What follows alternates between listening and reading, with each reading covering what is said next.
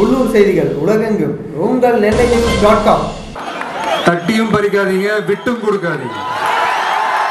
நம்ம கையில என்ன ஆயுதத்தை எடுக்கணும்னு நம்ம எதிரி தான் தீர்மானிக்கிறான்னு சொல்லுவாங்க.